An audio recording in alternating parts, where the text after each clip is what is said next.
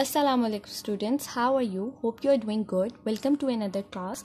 I'm your teacher Hafsah from Modern Language School I-10 2 campus. So what's the date today?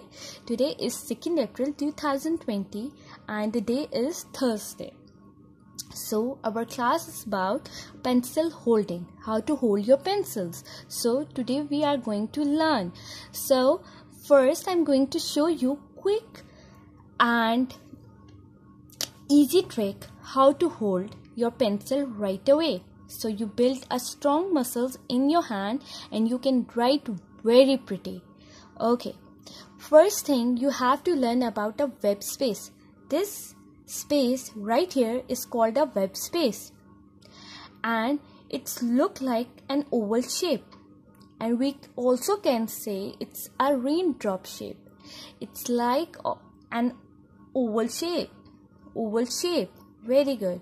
So we have a peg over here. We are using glitter but you are going to use your pincher finger. What where is your pincher finger is? First your thumb your first finger and your second finger.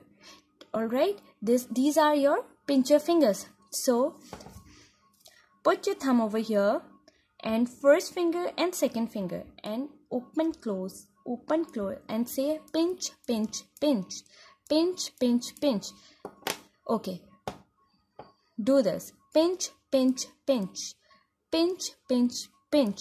Now children get your pen pinchers and pinch your pencils. The point should be pointing away from you and you are going to pinch where you're going to hold your pencils up to at the top by the point they are going to just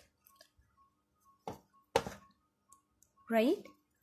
And then you are just going to gently slip your pencil around until it rests rest against your hand like this.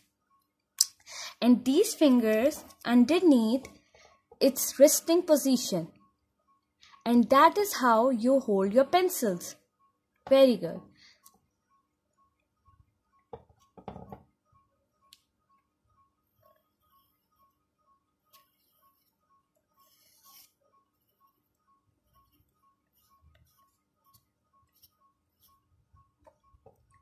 Thank you.